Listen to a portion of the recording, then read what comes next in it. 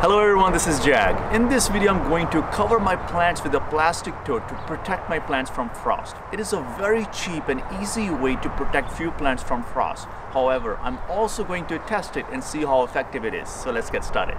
Frost has been hitting hard this year and lots of my plants are struggling to survive in the frost. While kale and some other plants are somewhat frost resistant, it is better to protect the plants to ensure that they continue to keep growing.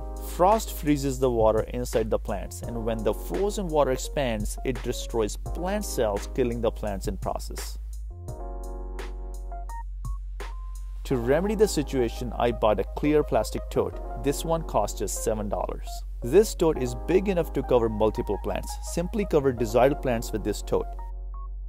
This tote retains humidity very well and it is big enough to support the growth of bigger plants. This tote is very easy to use and easy to pick up and reuse wherever needed. To prevent cold air from seeping in, use soil or dead leaves to cover the sides of the tote. The tote will allow sunlight and protect plants from frost. This tote is very efficient in locking in the moisture and retaining humidity inside the tote. I'm a big believer of testing and finding proof, so I'm going to use this Govee product to measure temperature and humidity. I'm going to place one outside as a control and one inside the tote to compare results.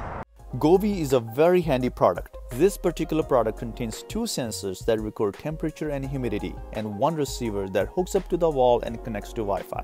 The sensors are moisture resistant and good to use outdoors. I'm placing one outside and one inside the plastic tote. I'll leave a link to the product in the description of the video if you're interested in purchasing one. After placing the sensor, I covered all sides of the tote with soil so that it locks in heat and humidity.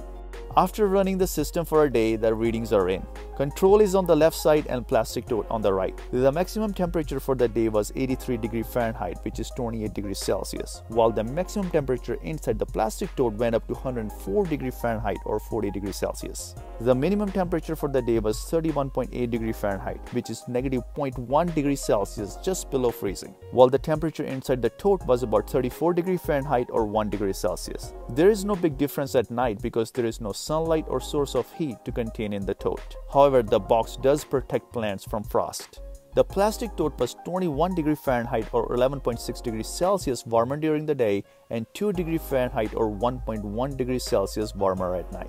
The humidity drops during the day and rises back up at night. The control indicates that the maximum humidity at night was 99.9% because we have had clouds and rain, while the maximum humidity in the tote was comparable, which is 99.4%. The difference is apparent in humidity retention. The minimum humidity during the day drops to 23.4%, while the minimum humidity in the plastic tote only drops to 47.4%. This is because the plastic tote is very efficient in retaining humidity during the day. The tote retained 24% more humidity during the day. All in all, the tote protects plants from frost, provides warmth, and retains humidity. I really hope you found this video interesting and helpful. I also made a video about 5 low-cost greenhouse ideas. If you're interested, check that video. I'll leave a link to that video in the description. And I'll see you in another video.